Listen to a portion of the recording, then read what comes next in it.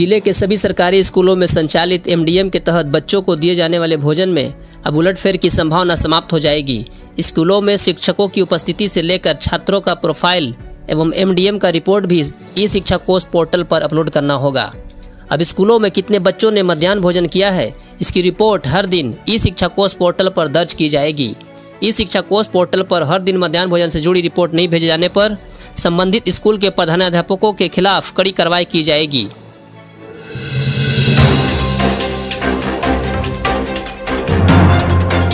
प्रदेश के सरकारी विद्यालयों में प्रधान अध्यापकों की नियुक्ति 50 प्रतिशत आरक्षण के आधार पर होगी। इस संबंध में शिक्षा विभाग की ओर से सभी जिलों को निर्देश जारी किया गया है। निर्देश के मुताबिक प्राथमिक विद्यालय में चालीस हज़ार दो सौ सैंतालीस प्रधान अध्यापकों की नियुक्ति होने वाली में 50 प्रतिशत आरक्षण के आधार पर रोस्टर क्लियरेंस होगा। यह निर्देश सभी जिला शिक्षा पदाधिकारियों को दिया गया है।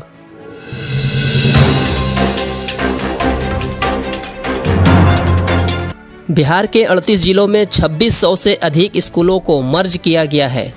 इसमें पढ़ने वाले लगभग तीन लाख छात्र अपने मूल स्कूल की जगह अब दूसरे स्कूलों में पढ़ाई कर रहे हैं। जिन स्कूलों को मर्ज किया गया है, वे सभी भवनहीन हैं। ऐसे स्कूल किसी सामुदायिक भवन के परिसर में या खुले आसमान के नीचे चल रहे थे। स्कूलों को मर्ज करने से छात्रों को भी फ़ायदा मिला। इससे पढ़ाई के लिए प्रत्येक विषय के लिए शिक्षक भी मिले हैं और कई स्कूलों में शिक्षकों की कमी पूरी हो गई है। इसके साथ ही धूप बारिश से बच्चों को होने वाली समस्याओं से छुटकारा मिला।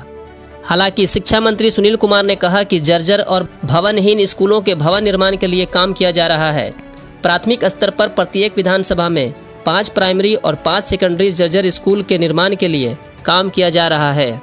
मर्ज वाले स्कूल के बच्चे और शिक्षक नए स्कूल में ट्रांसफ़र कर दिए गए हैं।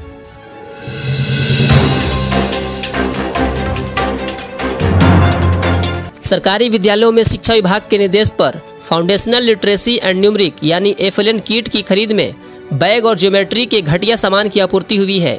डेढ़ हज़ार रुपये के किट में बामुश्किल सवा डेढ़ सौ रुपये के सामान उपलब्ध कराए जा रहे हैं।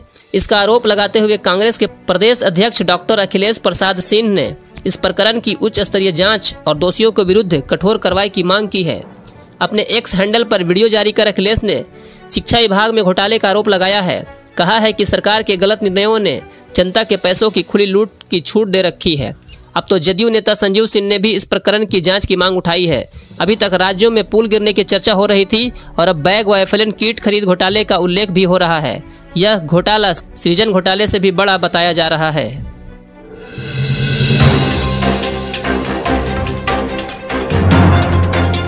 फाइलेरिया उन्मूलन कार्यक्रम के तहत सरकारी व निजी विद्यालयों में जागरूकता कार्यक्रम होगा।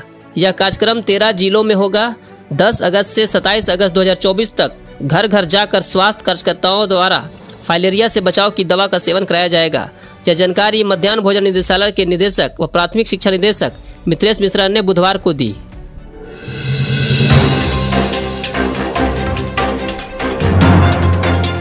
राज्य के हर स्कूल में छात्र छात्राओं के अनुपात में ही शिक्षकों के पदस्थापन की कार्रवाई शिक्षा विभाग ने शुरू कर दी है। इसी क्रम में विभाग ने राज्य भर के स्कूलों में शिक्षकों की उपलब्धता और उनकी आवश्यकता की रिपोर्ट तीन दिनों के अंदर मांगी है। जिलों को जारी निर्देश में कहा गया है कि कोटिवार शिक्षकों की संख्या भेजें।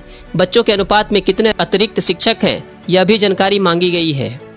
इससे स्पष्ट होता है कि अब शिक्षकों का स्थानांतरण स्कूलों में उपस्थित छात्र छात्राओं की संख्या के हिसाब से किया जाएगा।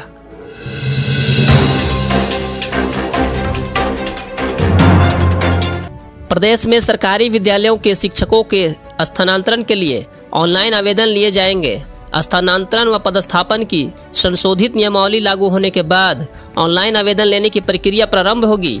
इसकी जानकारी सूचना के रूप में शिक्षा विभाग के अपर मुख्य सचिव डॉक्टर एस सिद्धार्थ के कार्यालय कक्ष के सामने वाली दीवार के नोटिस बोर्ड पर चिपका दी गई है।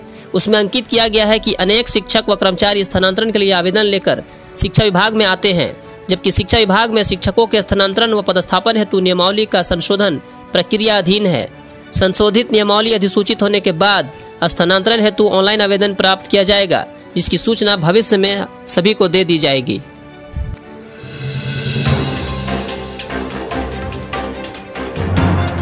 राज्य में पहली सक्षमता परीक्षा पास शिक्षकों की चल रही काउंसलिंग में 32 शिक्षकों की डिग्री पर सवाल उठे हैं। इनमें अधिकांश शिक्षकों की बीएड की डिग्री संदेह के घेरे में है। जिलों से मिली खबरों के मुताबिक काउंसलिंग के दौरान छह जिलों में बत्तीस शिक्षकों की डिग्री में विसंगति पाई गई है। इनमें जिन शिक्षकों की बीएड की डिग्री पर सवाल उठे हैं, वह इसलिए संबंधित डिग्री उन संस्थानों की है, जो राज्य सरकार के शिक्षा विभाग की सूची में अमान्य है। संबंधित शिक्षकों को संबंधित जिलों के जिला कार्यक्रम पदाधिकारी द्वारा कारण बताओ नोटिस दिया गया है। ऐसे शिक्षक प्राथमिक से लेकर माध्यमिक तक के हैं। आपको याद दिला दूँ कि औरंगाबाद में जो छह शिक्षक संदेह के घेरे में आए हैं, सभी जिला परिषद माध्यमिक शिक्षक हैं। इनमें पाँच ऐसे हैं जिनकी बीएड की डिग्री पर सवाल उठे हैं। एक शिक्षक का मामला विषय विसंगति का है, जिन पाँच शिक्षकों के बीएड डिग्री पर सवाल उठे हैं। उनमें तीन शिक्षकों की बीएड की डिग्री उन संस्थानों से है जो शिक्षा विभाग की सूची में अमान्य है।